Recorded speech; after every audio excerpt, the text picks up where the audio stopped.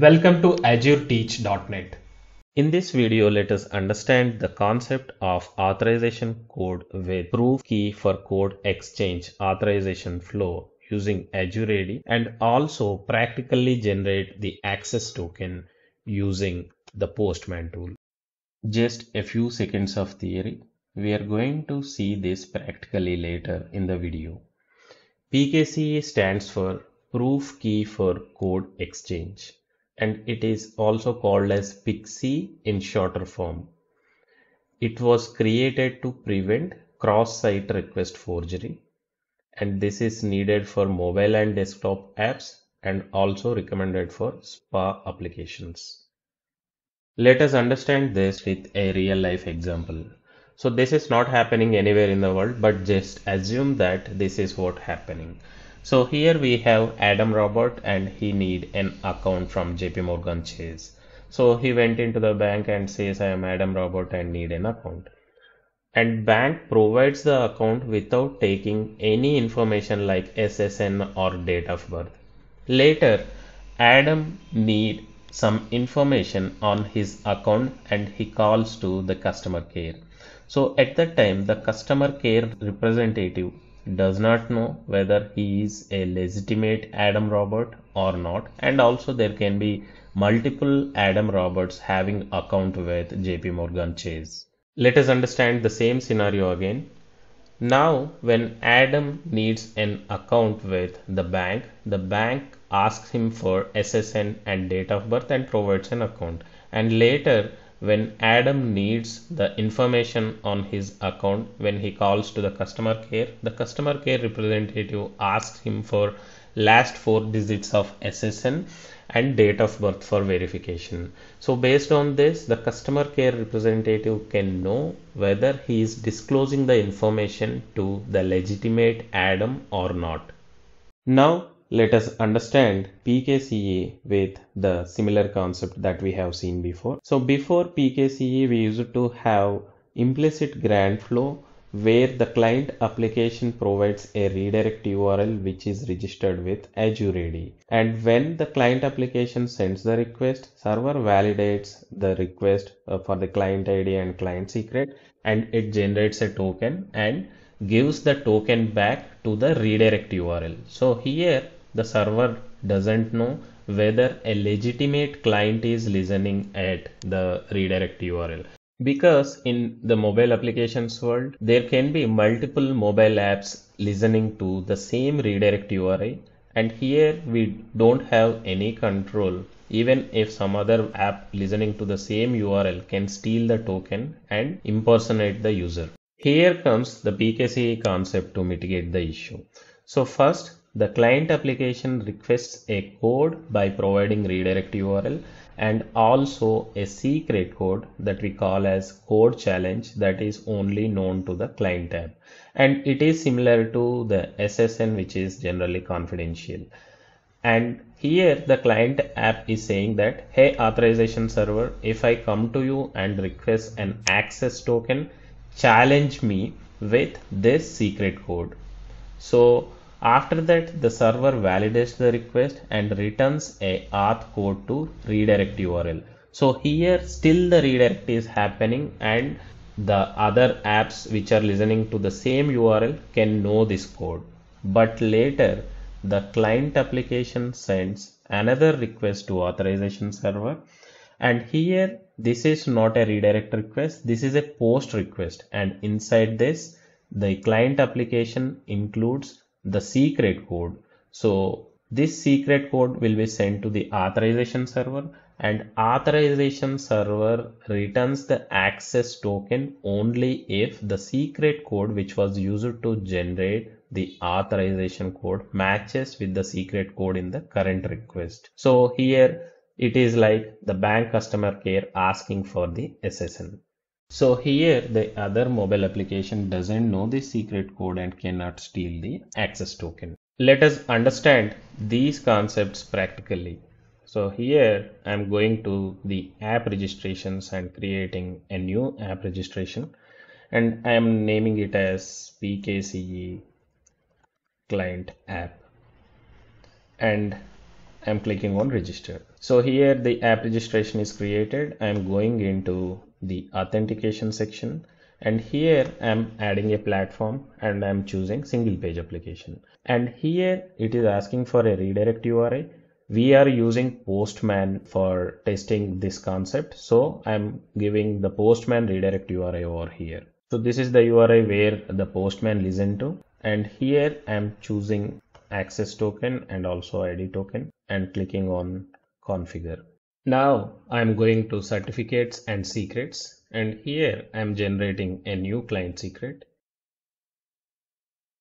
and we must copy this client secret because if you come back here again it won't show you the secret. Then I'm going to the API permissions and here if you see by default added permissions on Microsoft Graph with user.read permissions. If you have any other API you can simply add a permission over here and select the APIs and you can configure. And if you need that there are plenty of videos available in my channel. You can go through them. For this video we will be generating the token for calling Microsoft Graph API now let us generate a token using implicit grant flow. I'm going to overview endpoints. And here I'm taking this particular endpoint. This is OAuth 2.4 authorization endpoint. And I'm going to Postman. And here in the authorization section I have selected OAuth 2.4 and here I have selected request headers. And later here I have selected this checkbox which says authorized using browser. And here I have chosen the implicit grant flow. And here if you see this is the URL that we have configured with the app registration also and this is where the postman listens for the token. And here I'm configuring the auth URL that we have copied. And here we have to give the client ID so I'm going to the app registration and here we have the client ID.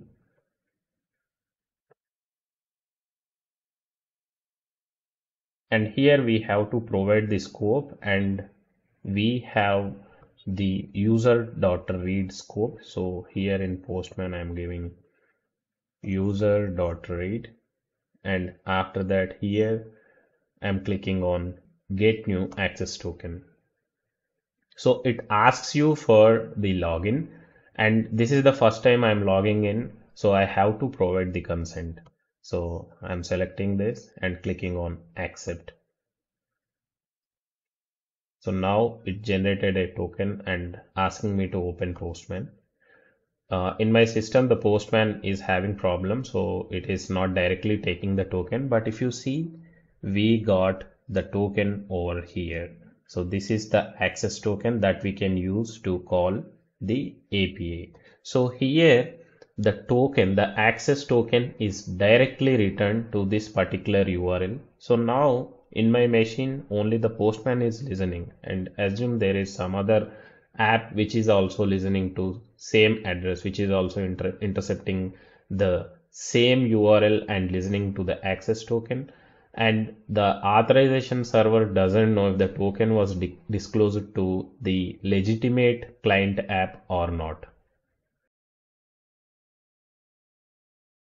Here I'm selecting a new tab going to authorization and here I'm selecting OAuth 2.2 and after that this is where we will be getting auth code. And here I'm selecting authorization code with PKCE and here we have to give the auth URL. I'm going to the app registration overview endpoints.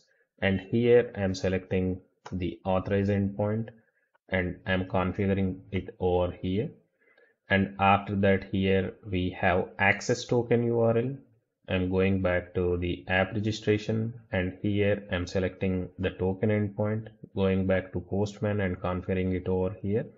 And we need the client ID so here we have the client id so i am taking this and configuring it over here. And here we have to give the client secret I have pasted the client secret that we have generated earlier and here we can choose SHA-256 or the plain text.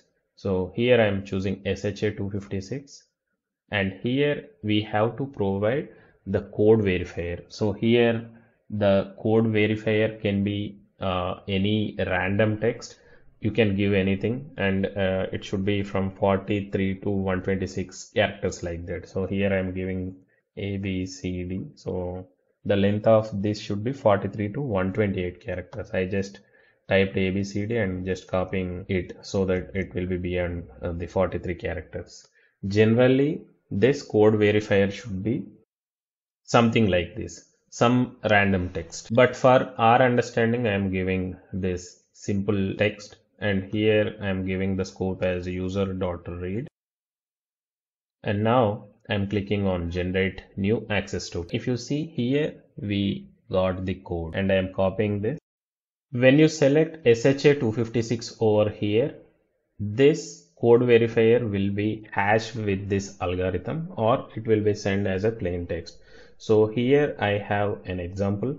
So here I have used this plain text to generate the code and here I have mentioned the code challenge method as plain. So this is not hashed. This was sent as is. But if I select SHA256, this code verifier text was hashed to this. Now let us generate a new access token using the authorization code that we got just now. I'm clicking on a new tab and here I'm selecting post and here I'm going to body and selecting form URL encoded and here I'm mentioning redirect underscore URI. This must be the redirect URI that we have used to generate the authorization code and here there won't be any redirects but still we have to provide this as we have used this while generating the auth code. And after that here we have to mention grant type. So grant type must be authorization underscore code. And after that we have to mention client underscore id and here we have the client id and after that here we have to mention code underscore verifier so here we have the code verifier and we can mention this in the plain text though we have hashed it while generating the auth code. So here I am mentioning the code verifier and after that here we have to provide the code. So here I am providing the code that we have generated before and the URL should be the token URL that we have used it over here. So I'm copying this and pasting it over here. On click of send, it won't give us the access token. So here it says tokens issued for the single page application client type may only be redeemed via cross origin request.